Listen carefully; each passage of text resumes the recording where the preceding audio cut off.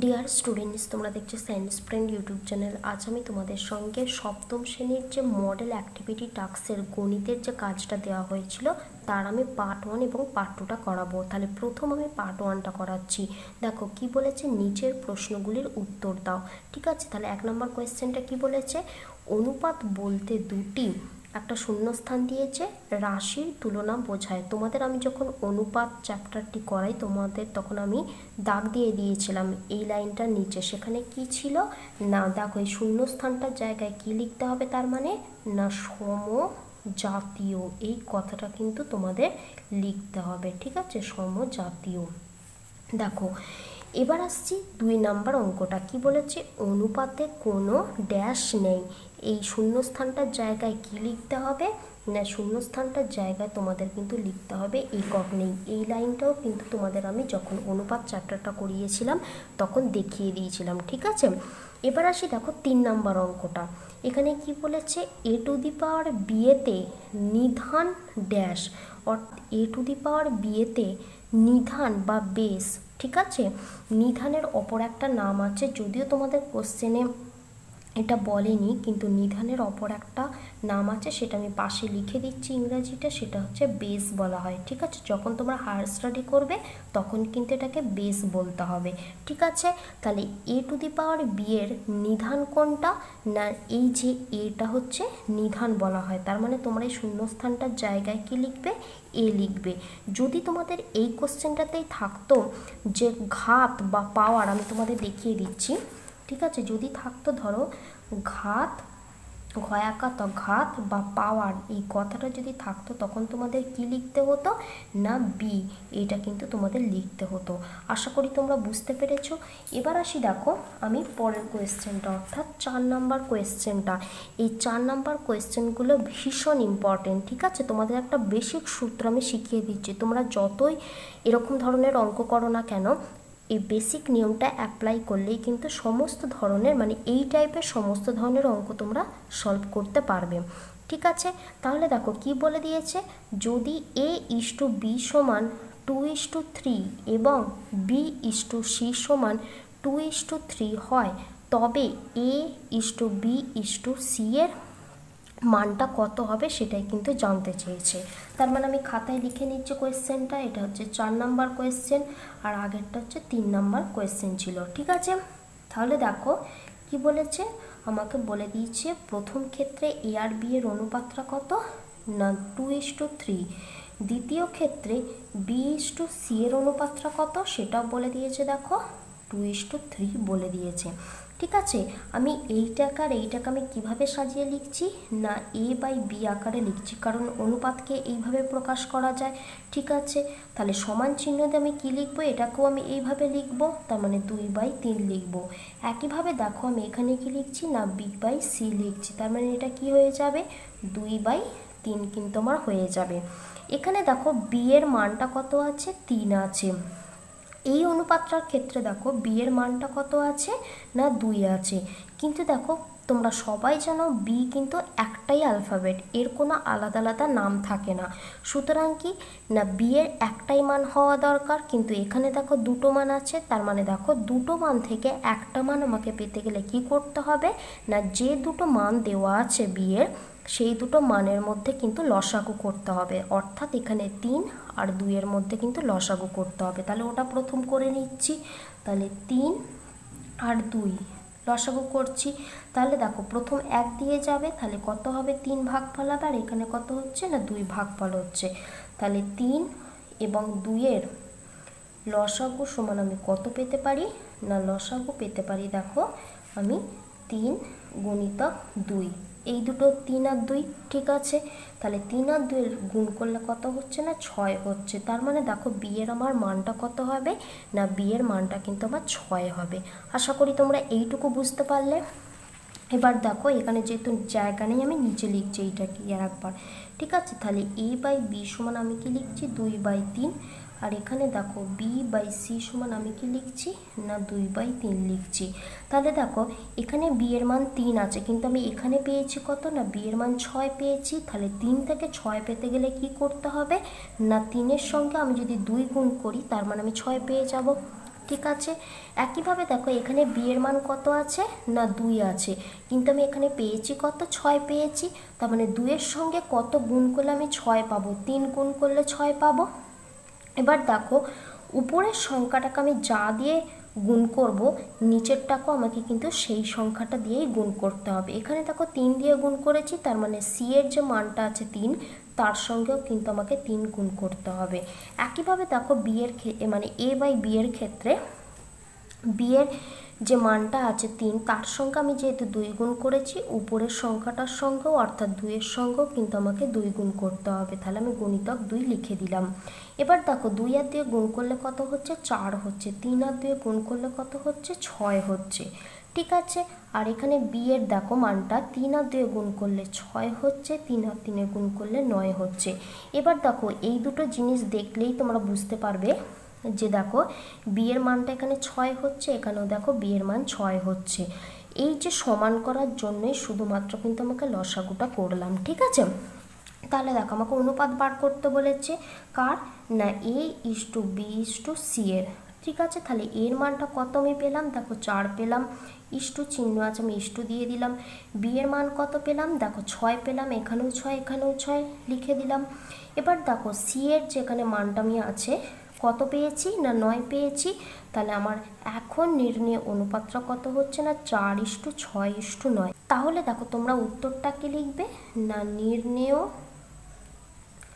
অনুপাত সমান, নির্ণেয় অনুপাত সমান কত লিখবে? না, four is to six is to nine. এটাই কিন্তু তোমরা লিখে দেবে, ঠিক আছে? ঠিক এই অঙ্কটা যেটা আছে তার নিচেটাই কিন্তু তোমরা এই পুরো অঙ্কটা করবে, যতটা পর্যন্ত আমি চারের দাগ থেকে শুরু করেছি, এই পর্যন্ত মানে প্রথম থেকে শেষ পর্যন্ত কিন্তু তোমরা অঙ্কটা করবে। আশা করি তোমরা বুঝতে পেরেছ, এবার আসি দেখো পাঁচের অঙ্কটা। দেখো পাঁচের অঙ্কটা কি বলেছে? নয় হাজার টাকা তিন বন্ধুর মধ্যে এমনভাবে ভাগ করে দেওয়া হলো যাতে প্রথম বন্ধু যা পায় দ্বিতীয় বন্ধু তার দ্বিগুণ পায় এবং তৃতীয় বন্ধু প্রথম দুই বন্ধুর প্রাপ্য মোট টাকার অর্ধেক পায়। ঠিক আছে? এখানে কিন্তু প্রত্যেকটা কথার ভীষণ ইম্পর্টেন্ট অর্থাৎ প্রত্যেকটা কথার মধ্যেই কিন্তু অঙ্কটা লুকিয়ে আছে। ঠিক আছে? সুতরাং ভালো করে অঙ্কটা পড়বে, তারপরেই কিন্তু অঙ্কটা সলিউশন করার চেষ্টা করবে। দেখো, তারপরে কি বলেছে? কে কত টাকা পায় সেটাই কিন্তু বের করতে বলেছে। তাহলে এখানে মোট টাকার পরিমাণ কত দিয়ে দিয়েছে? দেখো, নয় হাজার টাকা কিন্তু আমার দিয়ে দিয়েছে। কজন বন্ধু আছে? তিনজন বন্ধু।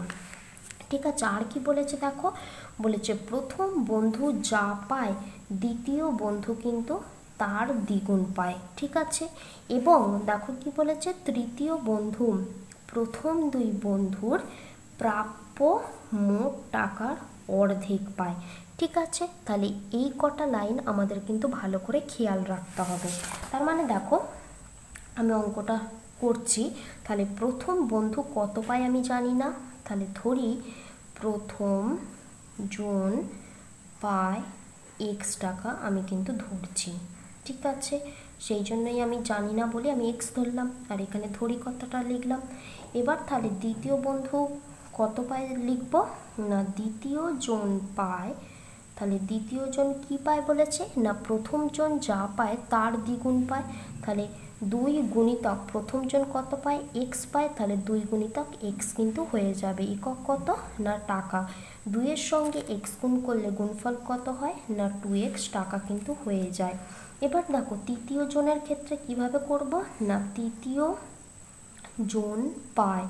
তৃতীয় জন কীভাবে পাচ্ছে? না, প্রথম দুই বন্ধুর প্রাপ্য মোট টাকার অর্ধেক। তাহলে প্রথম বন্ধু পায় কত? এক্স টাকা। ঠিক আছে, দ্বিতীয় বন্ধু পায় কত? না টু এক্স টাকা। এবার দেখো, মোট বলেছে যেহেতু, তার মানে যোগ করতে হবে। তাহলে এই দুটোর যে যোগফল হবে, তাকে যদি আমি দুই দিয়ে ভাগ করি কারণ অর্ধেক বলেছে, সেই কারণেই আমি দুই দিয়ে ভাগ করলাম। তাহলে দুই দিয়ে ভাগ করলে আমার যে ভাগফলটা পাবো সেটাই হচ্ছে তৃতীয় জন পাবে। এখানে একক কত হয়ে যাবে? না টাকা হয়ে যাবে। ঠিক আছে? তাহলে দেখো এক্স আর টু এক্স যোগ করলে কত হচ্ছে না? থ্রি এক্স হচ্ছে। নিচের দুই যেরকম আছে রেখে দিলাম। একক কত? টাকা। আমি কিন্তু লিখে দিলাম। ঠিক আছে? এবার দেখো, আমি কি বললাম, মোট টাকার পরিমাণটা দিয়ে দিয়েছে সেটা কত? নয় হাজার টাকা। তাহলে এই যে তিনজনের যে মোট টাকা পায়, সেই তিনটে, অর্থাৎ তিনজন পায়, এই সরি তৃতীয়জন পায় যেটা থ্রি এক্স বাই টু এবং দ্বিতীয়জন পায় যেটা টু এক্স আর প্রথমজন পায় যেটা এক্স তাহলে এই তিনটে যোগ করলে আমার যে যোগফলটা হবে সেটা ন হাজারের সঙ্গে সমান হবে। ঠিক আছে? তাহলে শর্তানুসারে আমি কি লিখতে পারি? দেখো, শর্তানুসারে আমি লিখতে পারি কি? না, শর্তানুসারে আমি লিখতে পারি, প্রথম বন্ধু পায় এক্স আর দ্বিতীয় বন্ধু পায় কত? টু এক্স আর তৃতীয় বন্ধু পায় কত? না থ্রি এক্স বাই টু তাহলে এটা কি হবে? না ন হাজারের সঙ্গে কিন্তু সমান হবে। এবার বা দিয়ে নেক্সট লাইনটা লিখতে হবে, কারণ দেখো, মাঝে সমান চিহ্ন আছে বলে নেক্সট লাইনটা শুরু করতে হয় সব সময় কিন্তু বা দিয়ে। ঠিক আছে? তাহলে দেখো এক্স আর টু এক্স আমি যদি যোগ করি, কত হচ্ছে? ফোর এক্স হচ্ছে, এখানে প্লাস আছে বলে প্লাস দিলাম। এখানে দেখো থ্রি এক্স বাই টু যেরকম আছে, রেখে দিলাম। ঠিক আছে? সমান চিহ্ন দিয়ে কিন্তু ন হাজার যেরকম আছে, রেখে দিচ্ছি। এবার দেখো ভগ্নাংশের আমাকে যোগ করতে হবে, লসাগু কত? দুই। ফোর এক্সের সঙ্গে দুই গুণ করলে কত হচ্ছে? না, চার আর দুই গুণ করলে আট, আর এক্স যেরকম আছে রয়ে যাচ্ছে। এখানে প্লাস আছে বলে কিন্তু প্লাস দিলাম। উপরে কি পড়ে আছে? থ্রি এক্স পড়ে আছে আমি লিখে দিলাম। এদিকে কি পড়ে আছে? না নয় হাজার কিন্তু পড়ে আছে।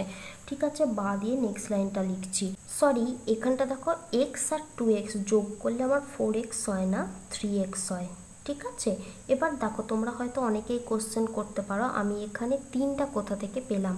দেখো এখানে এক্সের আগে দুই আছে, কিন্তু এখানে এক্সের আগে তোমাদের আপাতত দেখলে মনে হচ্ছে কি, না কোনো সংখ্যা নেই। এখানে কিন্তু একটা সংখ্যা আছে, যেটা উজ্জ্ব আছে, সেটা কত?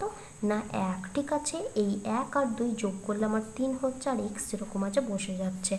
আশা করি তোমরা বুঝতে পারলে। এবার দেখো, এই থ্রি এক্সের সঙ্গে যদি আমি দুই গুণ করি, কত হচ্ছে? না সিক্স এক্স কিন্তু আমার হয়ে যাচ্ছে। এবার দেখো সিক্স এক্সের সঙ্গে যদি আমি থ্রি এক্স যোগ করি, আমার যোগফল কত হচ্ছে না? নাইন এক্স দুই যেরকম আছে, রয়ে গেল। এদিকে কত পড়ে আছে? নয় হাজার কিন্তু আমার পড়ে আছে। ঠিক আছে? এবার দেখো এক সমান আমি কি লিখতে পারি? না, নয় হাজার, এদিকে যেরকম আছে রয়ে গেল। এই দুইটা আমার এই দিকে যাবে। দুইটা দেখো, যেহেতু নিচে আছে এইদিকে গেলে কি হয়ে যাবে? গুণ হয়ে যাবে। আর এদিকে কি পড়ে আছে? দেখো নাইন এক্স কিন্তু পড়ে আছে, আমি কিন্তু লিখে দিলাম। তাহলে বা দিয়ে নেক্সট লাইনটা লিখছি। তাহলে নাইন এক্স যেরকম আছে রেখে দিলাম। এবার দেখো, এই নয় হাজারের সঙ্গে আমি যদি দুই গুণ করি, তাহলে কত হচ্ছে? না, আঠেরো হাজার কিন্তু আমার হয়ে যাচ্ছে। ঠিক আছে, তাহলে বা দিয়ে নেক্সট লাইনটা লিখছি। বা দিয়ে নেক্সট লাইনটা লিখলে কি হয়?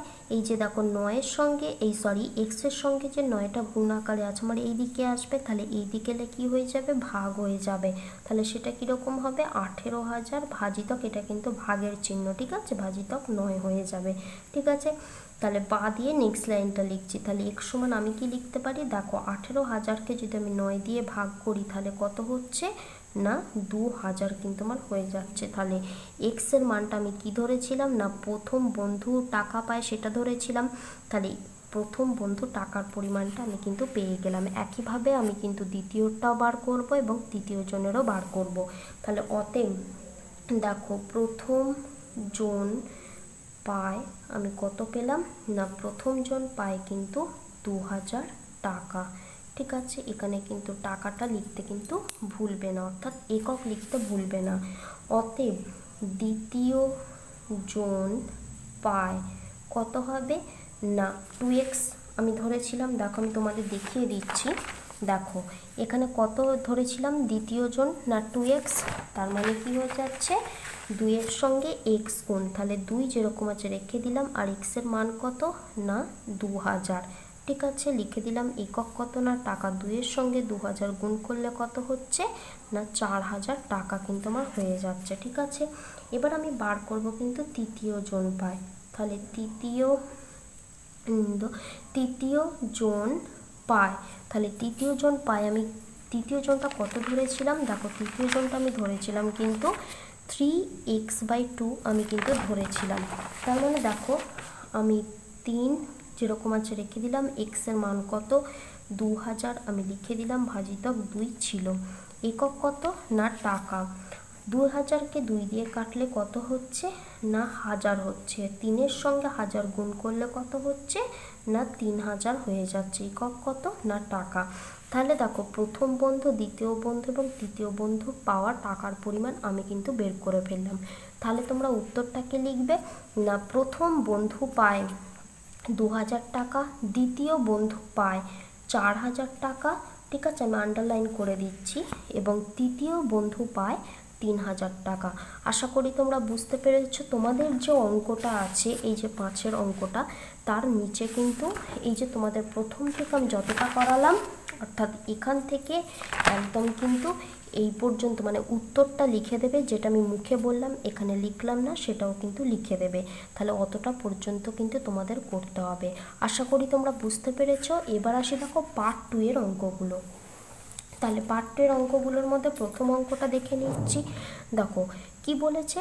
না নিচের বহু পছন্দ ভিত্তিক প্রশ্নের উত্তর দাও। বহু পছন্দ ভিত্তিক কেন বলেছে? কারণ দেখো, এখানে দেখো চারটে অপশান দিয়ে দিয়েছে, ঠিক আছে? চারটে অপশানের মধ্যে তোমার যেটা পছন্দ হবে, উত্তর হিসাবে সেটাই কিন্তু তুমি দাগ দেবে এবং উত্তর হিসাবে লিখবে। দেখো, কি বলেছে প্রথমটা? না, কোনো অনুপাতের পূর্বপদ এটা হচ্ছে কি? না লেস দ্যান চিহ্ন। ঠিক আছে, আমি বাংলাটাই সরি ইংরাজিটা বলে দিচ্ছি। সেটা হচ্ছে, না লেস দ্যান এটা হচ্ছে লেস দ্যান চিহ্ন। তোমরা অনেকেই এই চিহ্নটার সঙ্গে কিন্তু পরিচিত। ঠিক আছে? তাহলে কোনো অনুপাতের পূর্বপদ লেস দ্যান উত্তরপদ হলে অনুপাতটি কি হবে? না, অনুপাতটা কিন্তু লঘু অনুপাত হবে। তোমাদের যখন আমি অনুপাত চ্যাপ্টারটি করিয়ে দিয়েছিলাম, তখন তোমাদের কিন্তু লঘু অনুপাত, গুরু অনুপাত, সাম্যানুপাত সম্পর্কে উদাহরণ সহ কিন্তু বলে দিয়েছিলাম। ঠিক আছে? তোমরা কিন্তু প্রত্যেকটা অনুপাতের সংজ্ঞা উদাহরণ সহকারে ভালো করে মুখস্থ রাখবে। ঠিক আছে? তার মানে তোমরা এখানে উত্তরটাকে লিখবে? এখানে অতএব চিহ্ন দিয়ে কিন্তু লঘু অনুপাত। এই কথাটা কিন্তু লিখে দেবে অবশ্যই, ঠিক আছে? এবং এখানেও কিন্তু টিক চিহ্নটা দিয়ে দেবে। এবার আসি দেখো দুয়ের দাগের অঙ্কগুলো। কি বলেছে দুয়ের দাগের অঙ্কগুলো? বলেছে দেখো শূন্যস্থান পূরণ করো। তাহলে একের অঙ্কটা কি দেখো একটা গুণ গুণ আছে। সেই গুণটাকে কিন্তু সমাধান করে আমাকে গুণফলটা এই শূন্যস্থানের জায়গায় কিন্তু লিখতে হবে। তাহলে যেটা গুণ করতে দিয়েছে সেটা প্রথম আমি লিখে নিচ্ছি, ঠিক আছে? দেখো দুইয়ের দাগের একের অঙ্কটা। তাহলে কি করতে বলেছে না? প্রথম আছে এক্স গুণ y to the power zero গুণিতক z to the power minus one তাহলে দেখো এক্স যেরকম আছে রেখে দিলাম, গুণ চিহ্ন আছে গুণ দিলাম। ঠিক আছে ওয়াই টু দি পাওয়ার জিরোর মান সবসময় কি হয় না ওয়ান হয়? তোমরা অনেকেই জানো যে বেস যাই হোক না কেন বা নিধান যাই হোক না কেন পাওয়ার বা ঘাত যদি জিরো হয়, তার মান কিন্তু সবসময় ওয়ান হয়। আমি এটা পাশে তোমাদের লিখে দিচ্ছি, ঠিক আছে? Y to the power zero সমান সবসময় কিন্তু ওয়ান হয়, ঠিক আছে? মানে পাওয়ার বা ঘাত যদি জিরো হয়, সেখানে সবসময় কিন্তু তোমরা চোখ বুঝে ওয়ান বসিয়ে দেবে, ঠিক আছে? গুণ চিহ্ন আছে, গুণ দিলাম। এবার দেখো z to the power minus ওয়ানটাকে কীভাবে লেখা যায়? না ওয়ান বাই জেড কিন্তু লেখা যায়, কারণ এই জেডটা যখন ওপরে ওঠে, তখনই কিন্তু পাওয়ার বা ঘাতটা মাইনাস ওয়ান হয়ে যায়, ঠিক আছে? অত ডিটেলসে জানতে হবে না, তোমরা খালি লিখে দেবে কি? না z to the power minus one যেটাকে লেখা হয় যেভাবে, সেটা হচ্ছে ওয়ান বাই জেড আকারে লেখা হয়। তাহলে এবার দেখো, আমার নিচে কি পড়ে আছে জেড পড়ে আছে, উপরে কি পড়ে আছে? এক এক এবং জেড এবং তিনটেই কিন্তু গুণ আকারে আছে। তাহলে আমার গুণফল কত হচ্ছে? না এক্স কিন্তু আমার হয়ে যাচ্ছে। তাহলে আমার নির্ণয় গুণফল কত হলো? এক্স বাই জেড তাহলে তোমরা উত্তরটাকে লিখবে? যদি এটা তোমাদের শূন্যস্থান না দিয়ে এমনি অঙ্ক পড়তো, তাহলে তোমরা উত্তরটা কি লিখতে? না, নির্ণেয় গুণফল সমান কিন্তু এক্স বাই জেড ঠিক আছে, এটা লিখে দিতে। যেহেতু এটা তোমাদের শূন্যস্থান পড়েছে, তোমরা এই এই ফাঁকা জায়গাটা অর্থাৎ শূন্যস্থানের জায়গাটা তোমরা কি লিখে দেবে না এক্স বাই জেড কিন্তু তোমরা লিখে দেবে। আশা করি তোমরা বুঝতে পেরেছ অঙ্কটা। এবার আসি দেখো তিনের অঙ্কটা কি বলেছে? দুটি শরবতে সিরাপ ও জলের অনুপাত টু ইস টু ফাইভ এবং সিক্স ইস টু টেন কোনটি বেশি? মিষ্টি হিসাব করে লেখো, ঠিক আছে? এই অঙ্কটা কিন্তু ভীষণ ইম্পর্টেন্ট তোমাদের ভালো করে আমি বুঝিয়ে দিচ্ছি অঙ্কটা। দেখো, তিনের অঙ্কটা এটা করাচ্ছি আমি। দেখো, প্রথম শরবতের ক্ষেত্রে, তাহলে প্রথম শরবত, প্রথম শরবতের ক্ষেত্রে সিরাপ ইস্টু জল, কত আছে? না টু ইস্টু ফাইভ আছে। দ্বিতীয় শরবত। তাহলে দ্বিতীয় শরবতের ক্ষেত্রে সরি এটা ত হবে, ঠিক আছে? তাহলে দ্বিতীয় শরবতের ক্ষেত্রে সিরাপ ইস্টু জল সমান কত?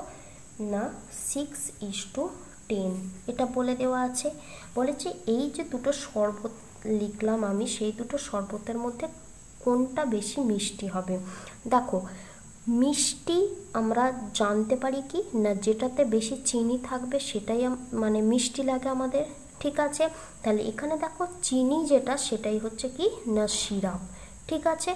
তার মানে আমাকে কি ঠিক রাখতে হবে? না জলের পরিমাণটা কিন্তু আমাকে সমান রাখতে হবে। তাহলে জলের পরিমাণটা সমান রাখতে গেলে কি করতে হবে? না জলের যে মানটা দেওয়া আছে, সেই মানগুলোর মধ্যে কিন্তু লসাগু আমাকে করতে হবে। যেটা আগের ঠিক অঙ্কটা তোমাদের আমি করে দিয়েছিলাম, যেটা চারের অঙ্কটা, সেই অঙ্কটার মতো কিন্তু সেম অঙ্ক, ঠিক আছে? তাহলে দেখো, আমি প্রথম শরবত বলে লিখছি। তাহলে প্রথম শরবত প্রথম শরবতের ক্ষেত্রে। আমি লিখছি কি? না, দুই বাই পাঁচ আমি কিন্তু লিখে দিচ্ছি। বা এইভাবেও তোমরা লিখতে পারো। সেটা সব থেকে বেশি ভালো হবে। তাহলে সিরাপ বাই জল, যেটা তোমাদের বুঝতে সুবিধা হবে, ঠিক আছে? তাহলে দেখো, কি লিখতে পারি? না, দুই বাই পাঁচ আমি লিখতে পারি। এবার দ্বিতীয় শরবত তাহলে দ্বিতীয় শরবত কমা চিহ্ন দিলাম। কি হবে? না, সিরাপ বাই জল। ঠিক আছে? তাহলে দেখো, এর মানটা কত? না, ছয় বাই দশ। আমি কি বললাম? জলের পরিমাণটা সমান রাখতে হবে। এখানে দেখো, জল আছে কত? পাঁচ। এখানে কত আছে? দশ। তার মানে জলের পরিমাণটা আমাকে সমান করতে গেলে কি করতে হবে? না, পাঁচ আর দশের মধ্যে কিন্তু লসাগু করতে হবে। তাহলে আমি লসাগু করছি পাঁচ, কমা দিয়ে দশ। পাঁচ দিয়ে প্রথম ভাগ করব, পাঁচ একে পাঁচ পাঁচ দুগুণে দশ। তাহলে পাঁচ কমা দিয়ে দশের লসাগু সমান আমি কি পেতে পারি? না, লসাগু সমান আমি পেতে পারি পাঁচ গুণিতক দুই। গুণ করলে কত হচ্ছে না দশ হচ্ছে? তাহলে আমি এখন জলের মোট পরিমাণটা কত পেলাম? না, দশ পেয়ে গেলাম। ঠিক আছে, এবার তোমরা অনেকেই বলবে, এখানে তো এক আছে, এক দিয়ে আমি গুণ এখানে লিখলাম না। কারণ একের সঙ্গে গুণ করলে আমার গুণফল সেটাই হয় কোনো সংখ্যাকে। সেই কারণেই আমি যেহেতু দশটাই পাবো, সেই কারণে আমি এখানটায় লিখলাম না। ঠিক আছে? তাহলে দেখো পাঁচ থেকে আমি দশ পেতে পারি কীভাবে? না পাঁচের সঙ্গে আমি যদি দুই গুণ করি তাহলেই আমি দশ পেয়ে যাব। আর দ্বিতীয় শরবতের ক্ষেত্রে দেখো দশ এখানে আছে, তার মানে দশের সঙ্গে আমি যদি এক গুণ করি তাহলে আমি দশ পেয়ে যাব। ঠিক আছে? আগে তোমাদের আমি কি বলেছিলাম? না, নিচের কোনো সংখ্যাকে আমি যে সংখ্যা দ্বারা গুণ করব, উপরের সংখ্যাকেও কিন্তু আমি সেম সংখ্যা দিয়ে গুণ করব। তার মানে দেখো, এখানে আমি দুই দিয়ে গুণ করেছি, তার মানে উপরের সংখ্যাটাকেও আমাকে দুই দিয়ে গুণ করতে হবে। আমি লিখে দিলাম, নিচের সংখ্যাটাকে আমি এক দিয়ে গুণ করেছি, উপরের সংখ্যাটাকে আমাকে কি করতে হবে? না, এক দিয়ে কিন্তু গুণটা করে দিতে হবে। ঠিক আছে? তাহলে দেখো তাহলে পাঁচ আর দুয়ে গুণ করলে গুণফল কত হচ্ছে? দশ হচ্ছে। তাহলে দেখো, এখানেও আমি লাইন টানছি। দশ আর একে গুণ করলে গুণফল কত হচ্ছে? দশ হচ্ছে। তাহলে দুই আর দুয়ে গুণ করলে গুণফল কত হচ্ছে? চার হচ্ছে। ছয় আর একে গুণ করলে গুণফল কত হচ্ছে না? ছ মানে ছয় হচ্ছে। তাহলে এবার দেখো, আমার জলের পরিমাণটা কিন্তু আমার সেম হয়ে রইল বা একই হয়ে রইল। এবার দেখব কোনটাতে সিরাপ বেশি বা চিনি বেশি।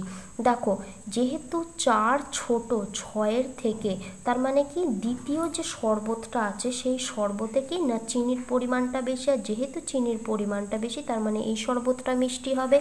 তার মানে তোমরা এখান থেকে কি লিখতে পারো? না, দ্বিতীয় শরবত বেশি মিষ্টি। ঠিক আছে বেশি মিষ্টি, এটা তোমরা লিখে দেবে। আশা করি তোমরা বুঝতে পেরেছ, এই অঙ্কটা কিন্তু ভীষণ ইম্পর্টেন্ট ঠিক আছে? তাহলে দেখো, তোমরা যখন এই অঙ্কটার সলিউশন করবে, তোমরা এই লাস্ট মানে এই অঙ্কটা শেষে আমি যেটুকু করালাম প্রথম থেকে একদম এই পর্যন্ত তোমরা কিন্তু এইটুকুটাই করে দেবে। আশা করি তোমরা বুঝতে পেরেছ। এবার আসি পরের অঙ্কটা, অর্থাৎ চারের অঙ্কটা। এখানেও দেখো একটা গুণ করতে বলেছে। তাহলে যেটা গুণ করতে বলেছে সেটা আমি প্রথম লিখে নিচ্ছি খাতায়, ঠিক আছে? দেখো, চারের তিন, এটা কত আছে? চারের তিন। চারের তিন এক্স স্কোয়ার ওয়াই জেড আছে, ঠিক আছে? গুণিতক, দেখো এটাকে একটা ফার্স্ট ব্র্যাকেটের মধ্যে রেখে দিয়েছে, ঠিক আছে? তাহলে একের তিন ওয়াই স্কোয়ার জেড এক্স এটাকেও ফার্স্ট ব্র্যাকেটের মধ্যে রেখেছে। গুণিতক, দেখো minus six x y z square এটাকেও কিন্তু ফার্স্ট ব্র্যাকেটের মধ্যে রেখে দিয়েছে, ঠিক আছে? এবার দেখো নেক্সট লাইনটা শুরু করছি সমান চিহ্ন দিয়ে। দেখো ব্যাকেটগুলো যদি আমি তুলি, তাহলে কি লিখতে পারি? না, চারের তিন, প্রথম আমি সংখ্যাগুলোকে একটা কাছে রাখছি। তার মানে প্রথমে দেখো চারের তিন আছে, তারপরে কত আছে? একের তিন আছে। তারপরে কত আছে? দেখো মাইনাস ছয় আছে। ঠিক আছে? এবার দেখো, তোমাদের আমি চিহ্নের কম্বিনেশনটা বোঝাচ্ছি। দেখো, এখানে প্লাস আছে, এখানে প্লাস আছে। সবসময় কিন্তু দুটো করে চিহ্ন নিয়ে গুণ করতে হয়। ঠিক আছে? তাহলে প্রথমে প্লাস তারপরে প্লাস প্লাসে প্লাসে গুণ করলে কি হয়? প্লাস হয়।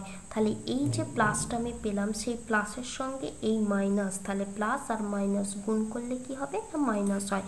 সেই কারণে কিন্তু আমি এইখানে মাইনাসটা লিখছি না, একেবারে কিন্তু এই জায়গাটায় মাইনাসটা লিখে দিচ্ছি। আশা করি তোমরা বুঝতে পেরেছ। তাহলে এটাকে আমি একটা কিন্তু বক্সের মধ্যে রেখে দিলাম। এবার দেখো, আমার এখানে কি পড়ে রয়েছে? এক্সের পাওয়ার দুই পড়ে রয়েছে। তাহলে এক্স স্কোয়ার যেরকম আছে রেখে দিলাম।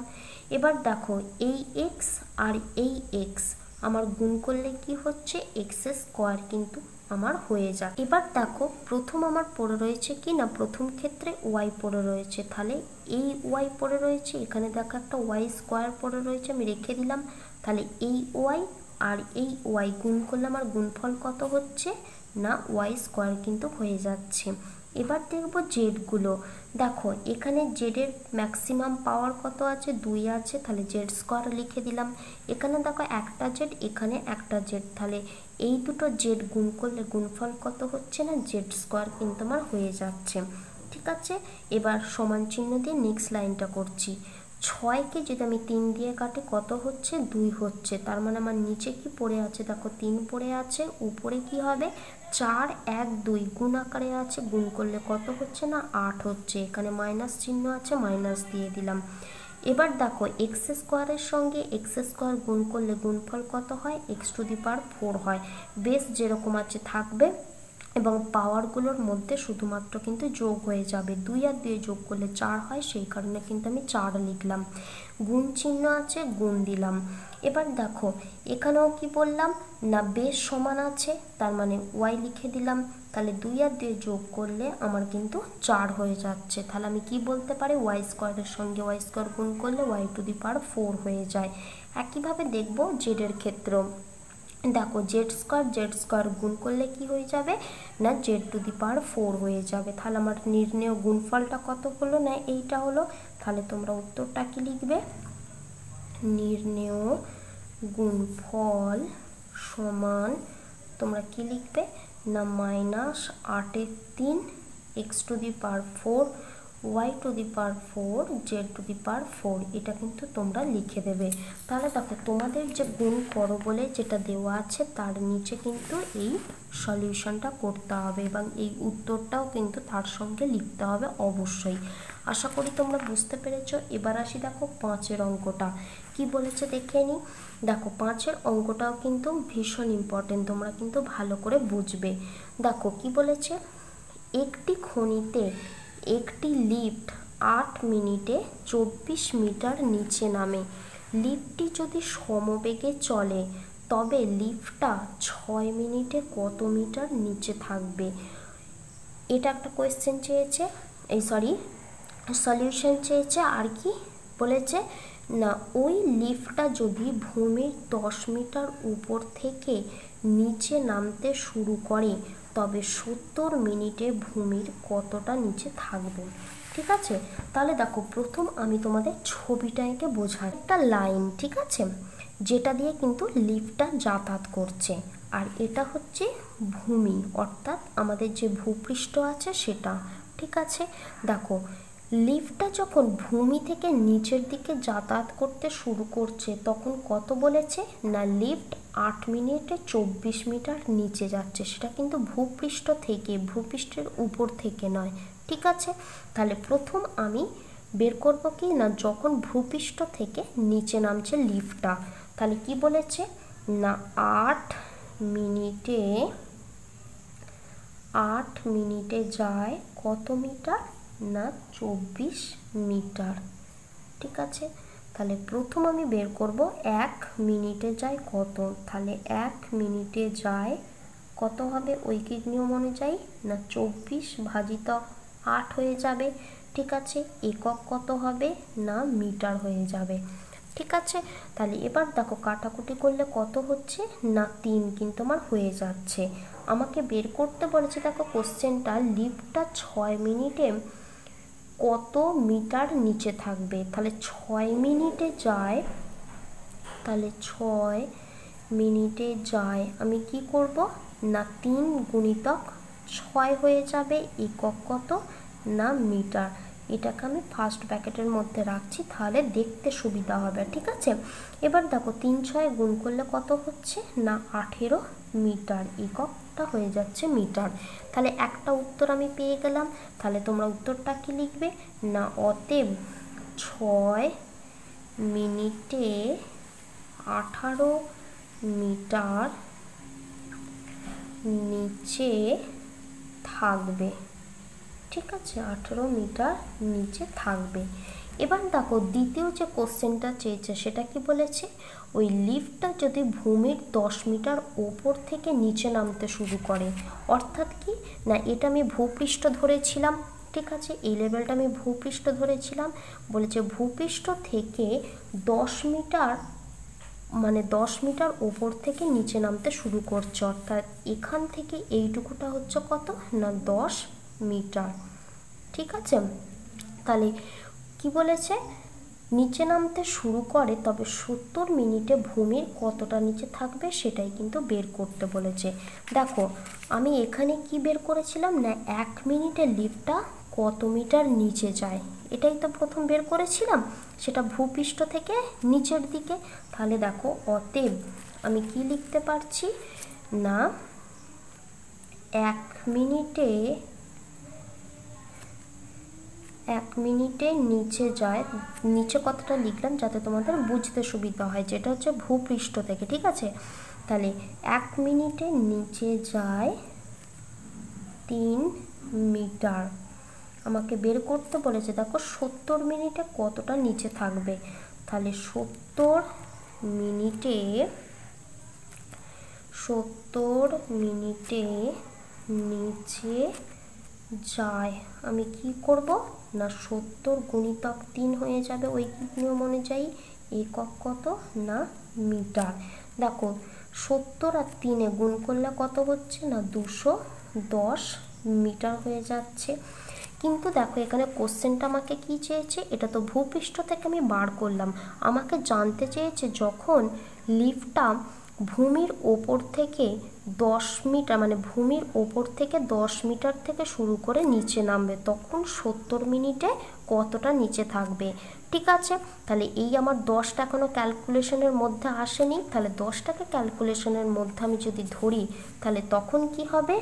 না, অতএব সত্তর মিনিটে নিচে যায়। আমি কি করব? না, দুশো দশ থেকে আমি এই দশ বিয়োগ করে দেবো যেটা উপরে মানে উপর থেকে নামছে, ভূপৃষ্ঠ থেকে উপরে, ঠিক আছে? তাহলে এই দশটা একক কত? না, মিটার। তাহলে দুশো দশ থেকে আমি যদি দশ বিয়োগ করি, আমার বিয়োগফলটা কত হচ্ছে? না, দুশো মিটার কিন্তু আমার হয়ে যাচ্ছে, ঠিক আছে? তাহলে তোমরা দ্বিতীয় ক্ষেত্রে উত্তরটাকে লিখবে? না, সত্তর মিনিটে ভূমির দুশো মিটার নিচে থাকবে। আশা করি তোমরা বুঝতে পেরেছ। এই অঙ্কটা কিন্তু ভীষণ ইম্পর্টেন্ট ঠিক আছে? তোমরা যদি ছবিটা ভালো করে বুঝতে পারো, তোমরা কিন্তু ইজিলি অঙ্কটা সলিউশন করতে পারো তাহলে দেখো, এই যে পাঁচের দাগের অঙ্কটার নিচে তোমরা কিন্তু এই যে এই ছবিটা তোমরা যদি বুঝতে পারো, ছবিটা মানে ছবিটাও আঁকতে পারো কিন্তু, ঠিক আছে? তাহলে এইখান থেকে শুরু করে কিন্তু এই পর্যন্ত সঙ্গে কিন্তু উত্তর অবশ্যই লিখবে, যেটা আমি মুখে বলে দিলাম নিচে, ঠিক আছে? আজকের ভিডিওতে করানো অঙ্কগুলোর মধ্যে তোমাদের যদি কোনো অঙ্ক বুঝতে অসুবিধা হয়, তোমরা অবশ্যই আমাকে কমেন্ট সেকশানে কমেন্ট করো। আমি নেক্সট ভিডিওতে তোমাদের সেই প্রবলেমের সলিউশনটা অবশ্যই করে দেওয়ার চেষ্টা করব। আর ভিডিওটা যদি ভালো লাগে, অবশ্যই লাইক শেয়ার এবং সাবস্ক্রাইব করে দিও। আজ এই পর্যন্ত। নেক্সট ভিডিওতে আবার তোমাদের পরবর্তী অ্যাক্টিভিটি টাস্কগুলো নিয়ে দেখা হবে।